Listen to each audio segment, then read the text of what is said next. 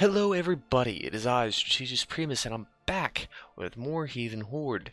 This will be the second upload of this week. This is episode 6, I do believe.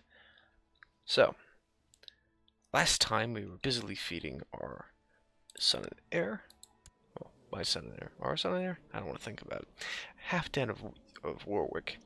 More and more territory. He's picked up quite a bit in here. He's sort of eating up the Midlands of Britain. I have acquired uh, what is York, Northumbria, and pieces of Ireland, some other bits in the previous episodes. Uh, my vassals are doing most of the acquiring at the moment, and they're seeming to be eating up uh, parts of Pomeria and Poland. I don't know what they're doing over there, they're just doing it, and I'm totally content to be king of them. So, what we could do right now is go over here and help my ally out with messing up Estonia. Problem is, this will give it to Afmunso here, who is the brother of the king of Sweden, meaning it will be under Sweden. Also strengthen his position, giving us a stronger ally in this uh, Swedish Jarl, but it would also strengthen a potential uh, point of conflict uh, with Sweden in general going through the series. That being said, it's only a little piece of Estonia. I'm not too worried about them coming for us. Even though his children would have claims on my stuff. Because he's married to my daughter. We'll see how that all turns out. First things first, I'm just going to go through my special titles for a moment because I re realize I do not have a regent.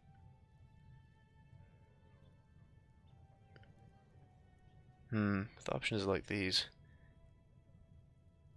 Alright, who actually likes me? Lots of people. that's good enough. Who do I trust?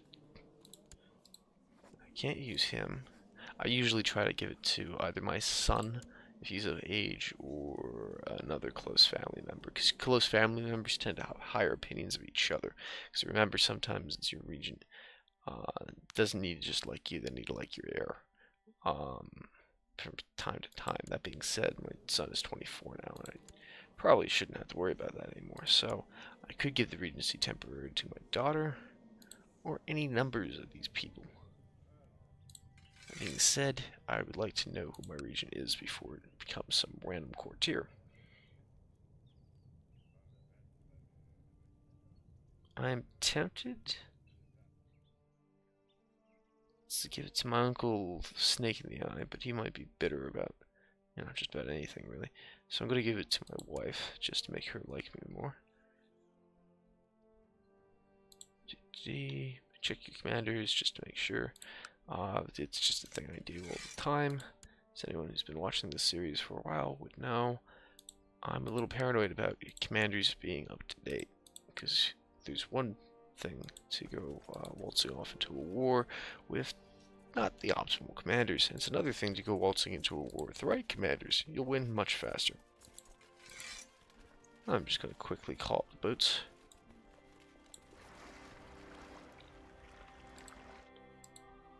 So the plan for this episode is to go over there and mess up Estonia, and potentially uh, do a bit of raiding as we wait for yet another threatening score to go down below 15%. It'll take a little time.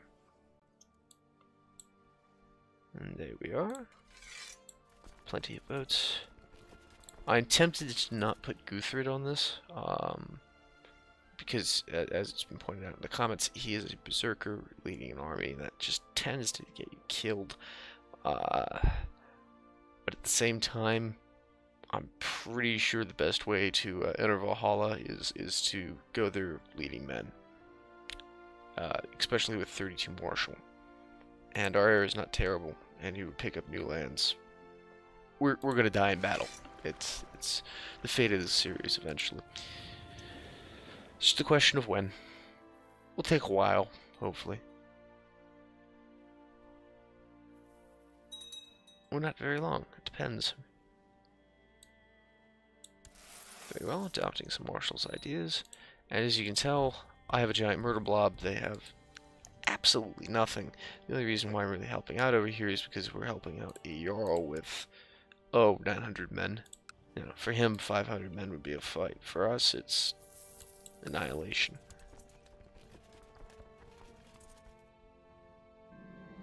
And sacrifice Odin. The other reason why I'm doing this is this gives me piety and experience and uh, prestige and all that goodness. Uh, uh, smuggling ring. That's just amazing. Plus, I'm pretty sure it's fun for YouTube. Pretty sure. Siege that down, and let's go smash these guys. Okay, he's done his job. He's conquered the piece he wants. Which is the other piece. Such as life. I'm now going to go back to my nearer holdings. Back over here near the Gulf of Danzig. And go raiding.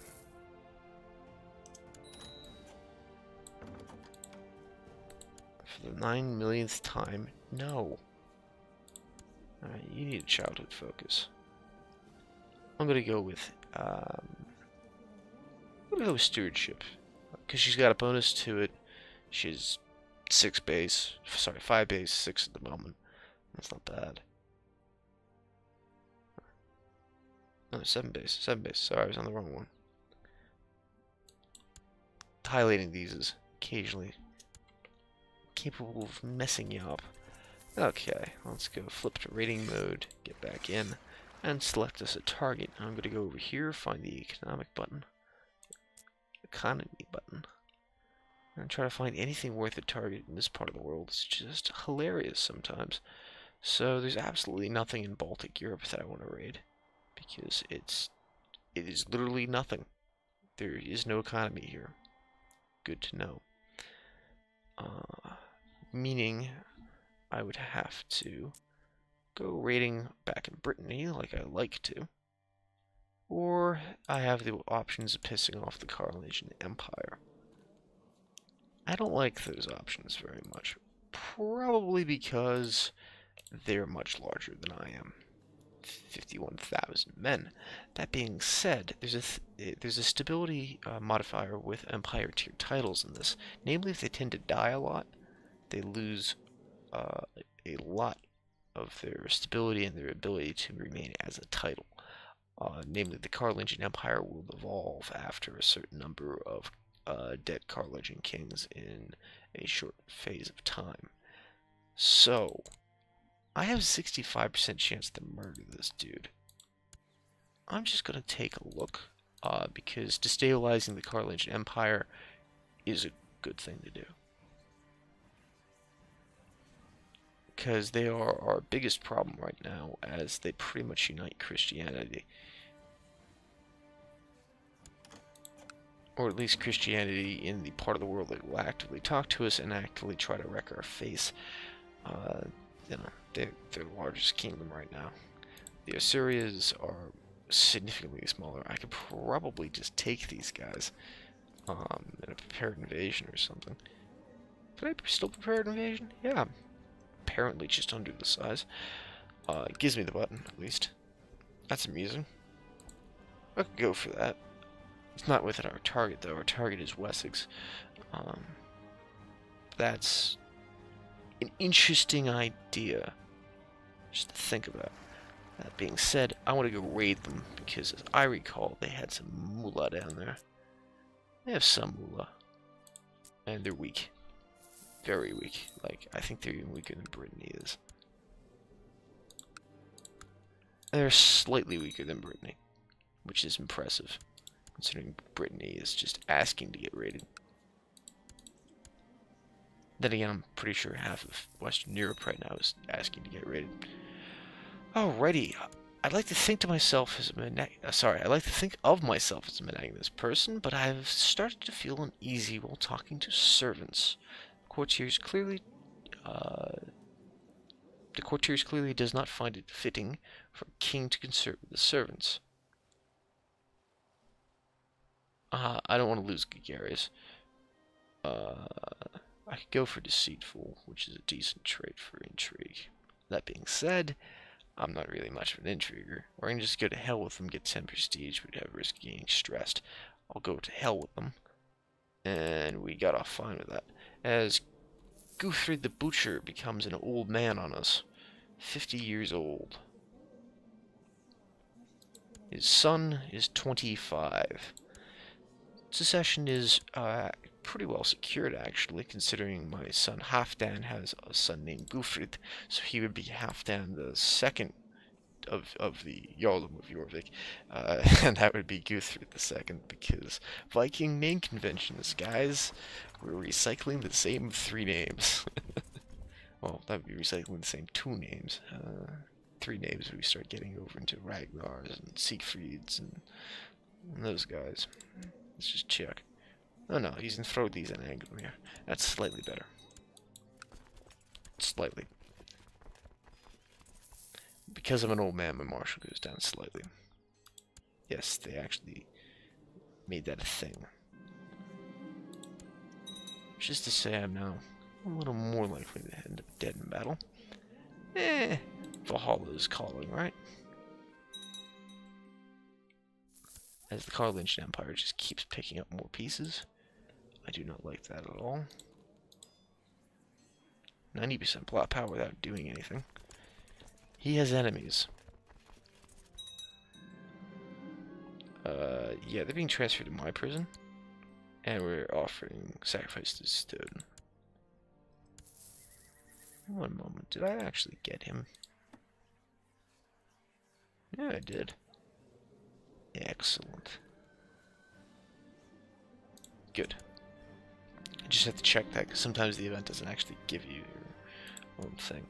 Uh, you're not becoming dull. Come on, come on. Oh, really? Dull?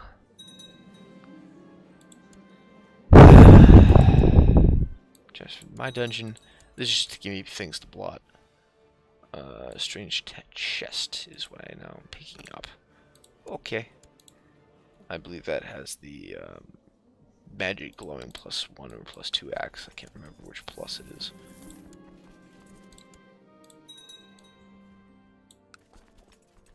A safe peasant is a productive peasant.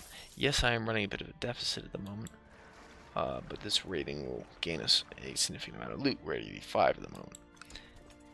As we just start tearing up northern Spain right here.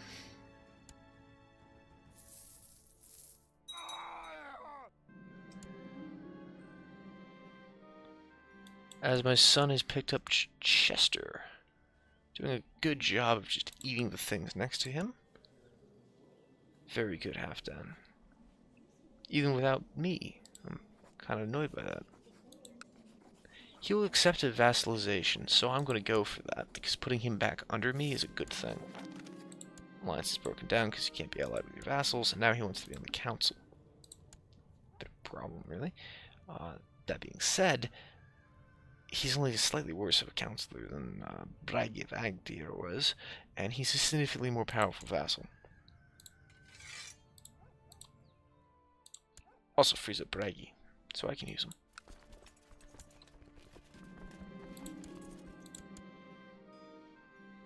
Eh. Actually, I like my options as I have them right now.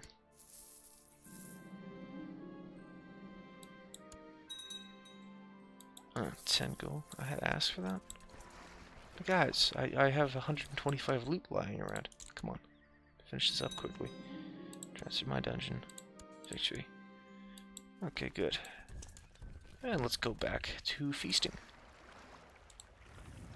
Whatever it is Vikings do when they're not killing people.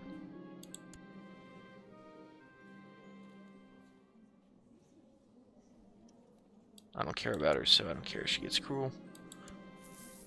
I just simply don't. Some people just don't matter in this. Your borderline bottom courtiers, they don't matter. 167 gold and 83 prestige. And we got influx of loot, which is a good trait for your county to have. By which I mean, if you click on New York, it'll be right there. Gives you a slight increase to levy size and tax income which on top of all the trade routes we're sitting on, the military invasions, makes it quite nice. Oh boy. Several former Varangian guardsmen have recently returned home after serving the Greek king, uh, which would be the Byzantine emperor. Uh, and they bring news most grave. My son, Prince Ulfir, fell in battle while campaigning in Serkland. They assure you that he faces enemy with bravery and slew many of their numbers before, before their numbers overwhelmed him. Ulfir was always my shitty, shitty son, but he at least died well. Rest in Valhalla. Well, not really rest. Oh well. That means my line is a little less stable right now, but my, my heir has three kids. We're fine. We should be fine. It's concubine. Hmm, okay, I'm fine with that. As long as he doesn't convert to Christianity. Uh, sometimes you can get an option to convert to uh, because your concubine is Chalcedonian. I simply do not want that to occur. I could create him the Jarl of Lancaster, and I will, Lancaster, sorry, and I will uh, attempt to do so shortly when I have a little bit more money money. I'll end up the episode with that. Arranging a marriage between him and some courtier. Oh, the one who was married to my son. I'm going to accept just to get her out of my court, because I don't care.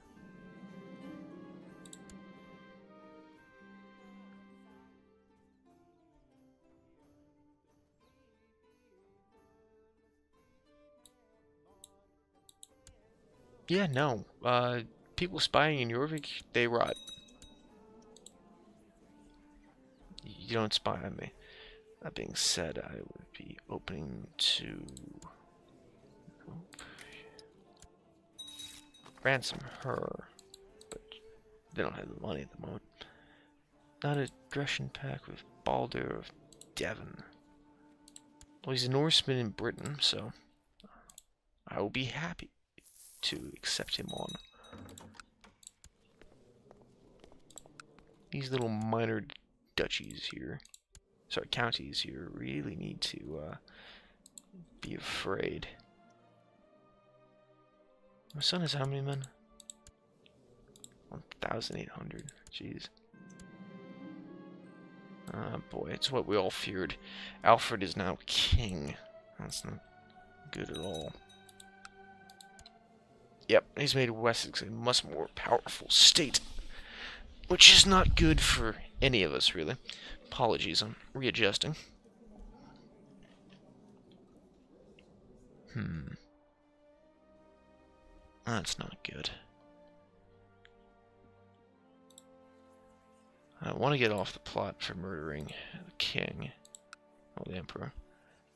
Uh, it's not going to happen, that's what that means. Okay, we're canceling. Uh, Alfred has simply got to die. Oh, he legitimized Osbjorn. Interesting. Uh, for those of you not know, King Alfred had a bastard. Way, way back when. And we're just going to try to murder him, because I don't want to deal with Alfred. Any traction? Not really, because I'm pagan. Yeah, that's what I figured. The reason why it's because I'm pagan is because uh, it, it it's a uh, minus opinion to all these Catholic courtiers. Chalcedonian courtiers, sorry, they're not Catholic yet. My son's going after Inverness, which is just going to make the border even more entertaining. I'm going to create the Duchy of Lancaster. And give it to my son, as I believe he has the most of the duchy. Give him, where's the de jure? Yeah, he's got land, most lands in the duchy, and I'm willing to give him Lancaster itself. Um, actually, where's the de duchy for you? Just so I know. Oh, he's half of Mercia. He needs one more that way. You want more for the Lancaster. Uh, I'm gonna give him the Duchy Lancaster just to alleviate him for now. Land title. Where can I just give him a land title?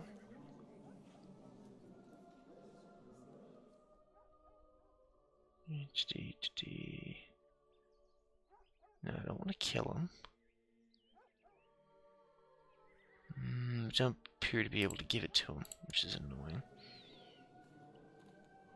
Oh, Gavelkind probably.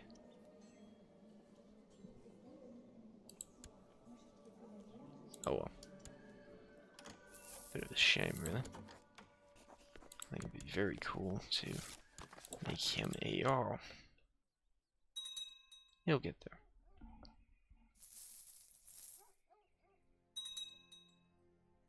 That being said, we have successfully completed our objectives, and that makes a video. We've raided a bit, we've solidified, uh, our son is actually under us now.